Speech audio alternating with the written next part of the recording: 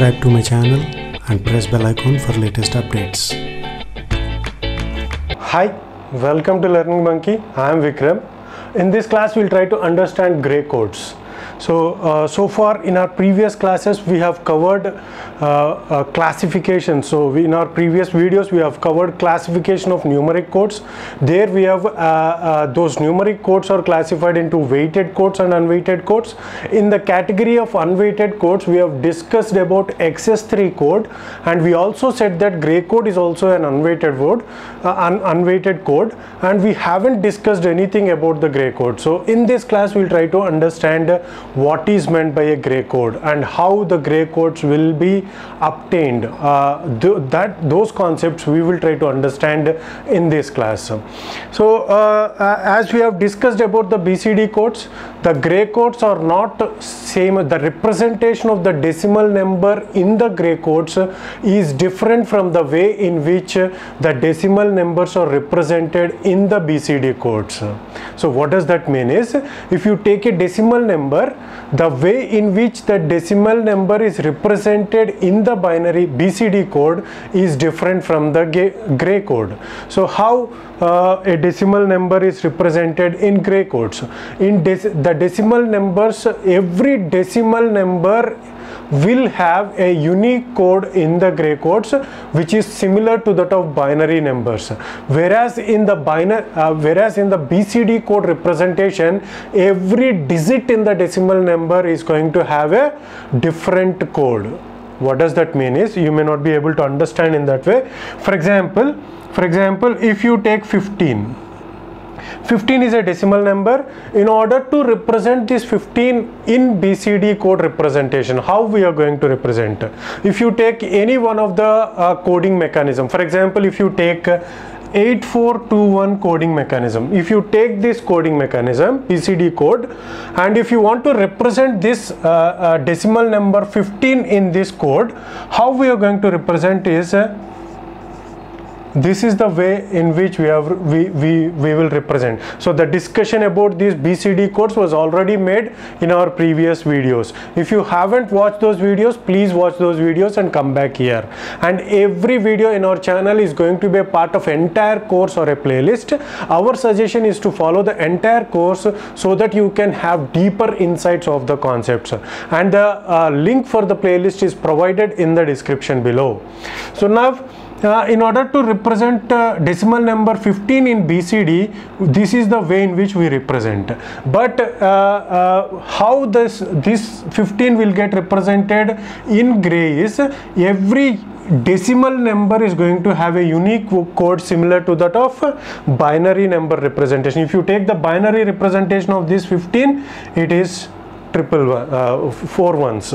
This is the binary representation of 15. In the same way, gray code will also have a unique representation for 15. So that is the way in which the decimal numbers are represented in gray code. How the coding for the decimal numbers can be obtained how it can be done. How it can be done is gray codes can be obtained by reflecting an n minus 1 bit code about an axis at the end of the code and putting the MSB of 0 above the axis and putting and the MSB of 1 below the axis. So what does that mean? You may not be able to understand by just reading the definition. We will try to understand this definition. So this uh, way of obtaining the gray codes for the decimal numbers by using an example. So we will try to uh, we will try to extract the uh, gray codes representation of decimal numbers by using this definition. So what it states is and one more thing is gray codes are also called as reflexive codes. So what does that mean? So that we will try to understand by understanding this definition. And the gray codes are also called as unit distance cyclic codes okay? So what that unit distance cyclic codes what is the reflecting codes that we will try to understand by understanding this the way in which we obtain the gray codes. What they are saying is so if you want to for example if you take one bit representation of gray, gray codes one bit representation of gray codes if you want to if you want to represent the gray codes in n bits we have to get the reflection of the n minus 1 bits. So with the 1 bits what are the possibilities that we have? It is 0 and 1 so with this we are going we can represent uh, the decimal 0 and 1 okay. So this is one bit representation of gray codes for 0 and 1 so what are the possibilities with one bit? It is 0 or 1 okay. So now in order to get the 2 bit representation of uh, gray codes this is the way in which the decimal numbers will also get represented. So with two, uh, two bits the maximum possibility are 0 1 2 3 okay. So now how to get? So in the one bit representation we got 0 and 1 so how to get the uh, how to get the codes for the 2 bit representation is uh, four four decimal decimal numbers can be represented by using 2 bits how to get the gray codes is how to obtain the gray codes is uh, obtained by reflecting the n minus 1 bit n minus 1 bit code. In order to get a 2 bit representation we have to get the reflection of n minus 1 bits. So what is n minus 1 bits? 2 minus 1 is 1 bit representation. Is 0 and 1 so we have assumed this as an image uh, this as a mirror. So assume this as a mirror what in order to to get the 2 bit representation of the gray codes we have to take the mirror image of n minus 1 bits. What is n minus 1 bits? It is 2 minus 1 1 bit.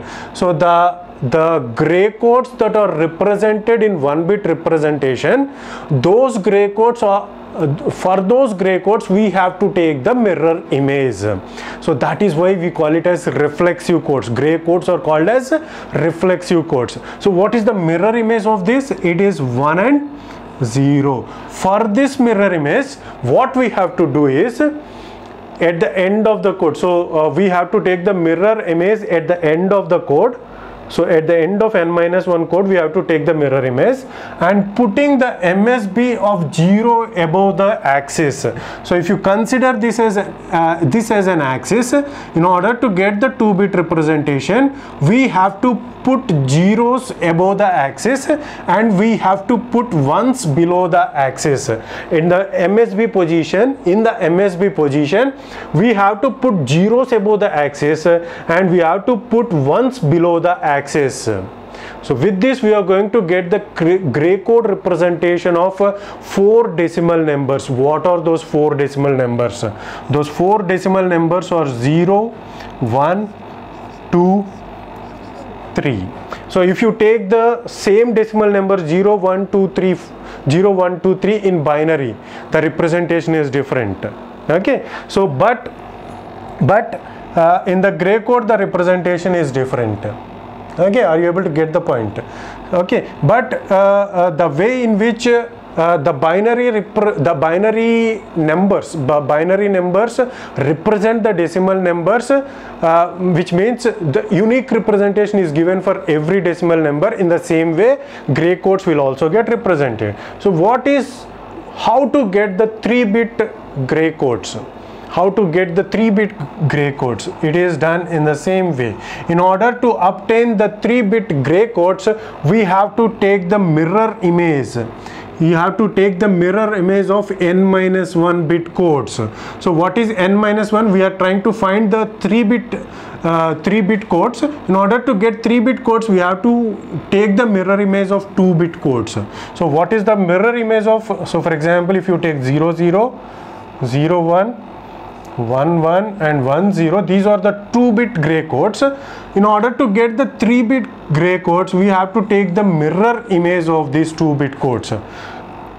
Now what is the mirror image? It is this one will get reflected here and this one will get reflected here this one will get reflected here and this one will get reflected here. So this is what we call it as reflexive codes. So these are what we call it as reflexive codes. Now what we have to do? So to this reflection to this reflection above the axis to the MSB we have to add 0 this is 0 0 0 and this is 1 1 1 1 okay? So these are the these are the numbers which are represented these are the codes which are represent gray codes which are represented for 3 bit numbers. And what are the decimal equivalent of these codes?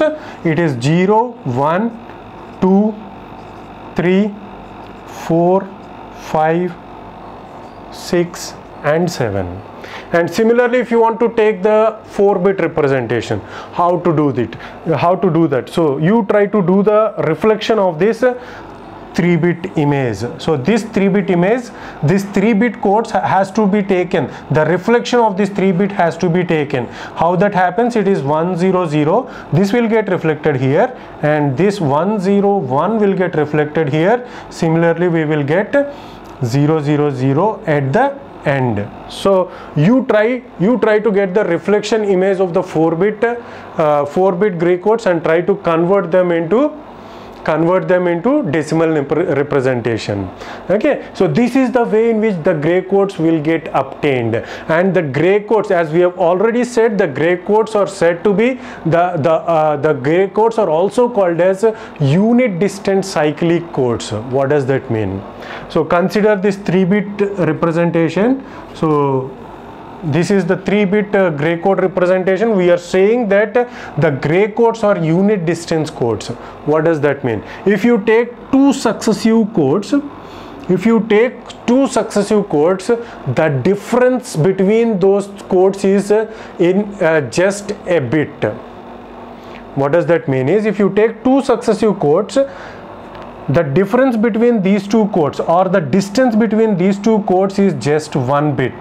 For example if you take these three bits uh, and these three bits the only differentiation is done by one bit. So just by differing one bit from the preceding code you will get the successive code. So that is what we call it as unit distance code. And what is meant by cyclic code? Cyclic code means the last code will be differentiated by just only one bit. So this is what we call it as cyclic code. So this cycle repeats for the last and the first code also. So that is the reason why gray codes are called as cyclic unit distance codes see here. Cyclic means this last code 100 is differentiating. Will get differentiated by only one bit. By changing this 0 to 1 we are going to get this code. So this is what we call it as cyclic code and uh, you take any two successive codes they will differ by only one bit. So let's check. If you take these two codes the only difference 001 will get differentiated uh, by only one bit. And this is that bit. And you take these two codes here one has been changed. These two are same but this one has been changed to zero. You take any two successive codes they will differ by only one bit one unit distance. That is the reason why gray codes are called as unit distance codes and they are cyclic. They are also called as cyclic codes because the last the last bit is the last bit is also a unit distance code with the first bit. So that is the reason why they are called as cyclic unit distance codes. And uh, uh, this is the way in which uh, the gray codes will get obtained. So my suggestion is to please create the gray codes for 4 bit codes. For 4 bit uh, uh, gray codes try to get the codes. You are going to get uh, the codes for 15 decimal numbers 0 to 15 for the all those decimal numbers you will get the gray codes. If you generate the 4 bit gray codes you're going to get uh, the the codes for 0 to 15 hope you got the clarity on this concept. Thanks for watching. If you haven't subscribed to our channel please subscribe to our channel and press bell icon for the latest updates. And if you have any doubts regarding this concept please post your doubt in the comment section below. Thanks for watching